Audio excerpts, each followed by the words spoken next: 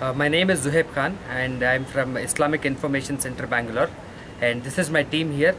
We are uh, and we are organizing this event with uh, Darul Ayman, and orga- sisters organization. We both always work together, Alhamdulillah. Uh, we are organizing an event on uh, terrorism and ISIS that we denounce, a conference to denounce ISIS and terrorism. We are having this event so that the general masses are educated about what terrorism is all about. And Islam does not encourage terrorism at any point of time. Neither is ISIS a part of Islam. So this is the conference that we are having tomorrow at uh, Khudusa Eidgah ground, Millers Road, Bangalore. So we request uh, the media to be a part of it. And the reason to hold this conference is we need to educate the masses and we also need to tell the government of Karnataka and the government of India that we are against ISIS or we are against terrorism.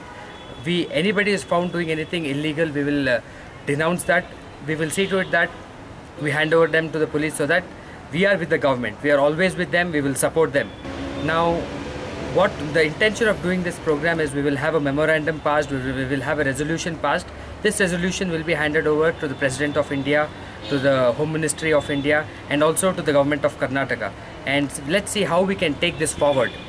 This is the entire intention of having this conference.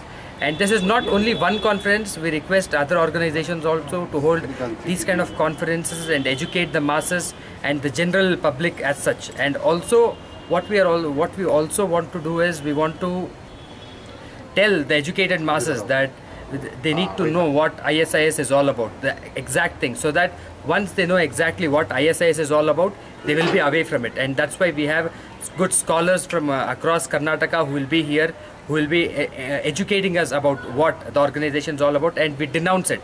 We denounce it over and over again that ISIS or terrorism is not a part of Islam. So this is the conference that we are having tomorrow, and uh, Friday 10:30, Friday 11:30 a.m. we had a press conference in at the Press Club Bangalore, in wherein we had different scholars coming in, we had dif- different media people coming in. So we have already clarified our viewpoint that we are against ISIS and terrorism, and Islam is all about denouncing ISIS and ter- terrorism.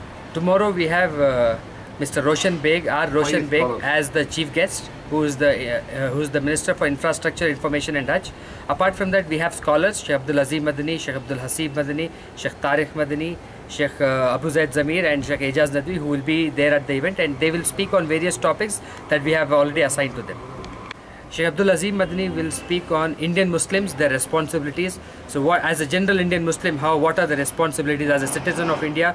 What are the responsibilities that we have towards the nation? That's one. Then we have Sheikh Abdul Hasib Madani, uh, who, who will speak on the topic: What is ISIS? What is this organization? When did it start? And what are the, how do we need to denounce it? Then we have Sheikh Tariq Madani, who will speak on the belief in God or in oneness of God and then uh, we will have uh, Sheikh Abu Zaid Zamir who will speak on the traditions of the Prophet. What are the traditions and how, when we follow these traditions, we can be good Muslims and how we can benefit the nation and the society at large. And then we have Sheikh Ejaz Ahmed Nadwi. He is the president for All India Milli Council Karnataka chapter, wherein he will address the presidential note, in which he will give a gist of the entire program as to what exactly is the message that has to go out to the masses and the media.